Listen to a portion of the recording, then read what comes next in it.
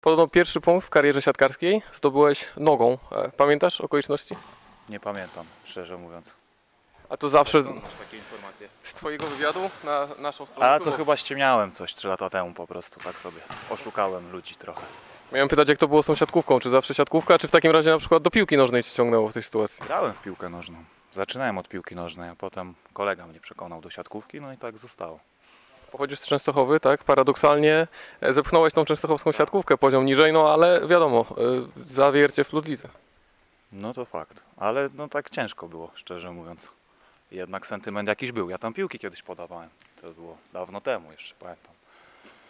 No ale no tak wyszło. Przed tobą czwarty sezon w klubie, nikt nie gra tu tak długo jak ty. Pewnie jest taka satysfakcja, radość, że budujesz to, budujesz i tak, aż tak procentuje. I się udało. Jasne, no tak, ja tu od w zasadzie pierwszego sezonu w pierwszej lidze tu siedzę. Także, także fajnie. No i obserwowałem to jakby nie było od samego początku, także ten progres cały klubu i fajnie, że udało mi się tu zostać. Także bardzo się cieszę, że tu jestem tyle, ile jestem. Plus własna cegiełka do tego wszystkiego. Spodziewałeś się parę lat temu, że tak to się może potoczyć? No szczerze mówiąc nie, na pewno nie. Także wiesz, no jak grałem jeszcze 4 lata temu w drugiej lidze w Opolu, tam kończyłem studia, ktoś by mi wtedy powiedział, że będę w Plus Lidze, to pewnie bym nie uwierzył, no ale udało się i jestem, także walczymy dalej. I co będzie na tych kartach historii dalej? Alrono Virtu warte zawiercie? Zobaczymy, oby, oby to brnęło tak jak brnie, także wiesz, sezon na sezon coraz lepiej.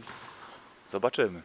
I na koniec muszę zapytać o Jorki. E, mówiłeś w tym samym wywiadzie, że po zakończeniu kariery będziesz hodował Jorki. To, to żart, czy coś cię ciągnie do tych piesków? Nie wiem, może ściemniałem, ale Jorki może nie do końca. Ale ostatnio się zastanawiałem nad Boston Terrierami, bo te jeszcze bulldogi francuskie są spoko, ale one znowu są chorowite, także Boston Terrier jednak chyba wygra z Jorkami.